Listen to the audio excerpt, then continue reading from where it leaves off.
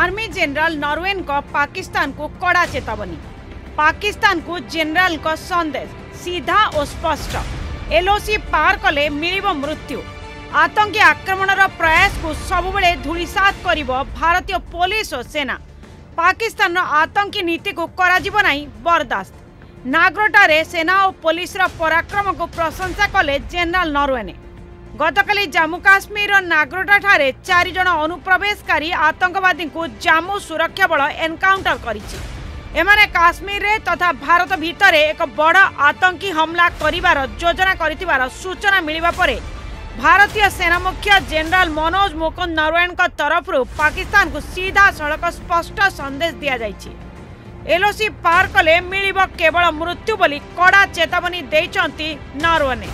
অনুপ্রবেশ কলে ফেরি পারিবে না আতঙ্কবাদী কালি কাশ্মীর ঘাটিরে ট্রক যোগে অনুপ্রবেশ করিଥିବା চারিজন আতঙ্কবাদী জাম্মু পুলিশ দ্বারা নিহত হইতিলে এই আতঙ্কবাদী মানে জৈশ মহম্মদ আতঙ্কী গ্রুপর বলে জনাপড়িছে এমানক পাখে অনেক একে ফর্টি সেভেন গ্রেনেড ও গুড়িগুড়া জবত হয়েছে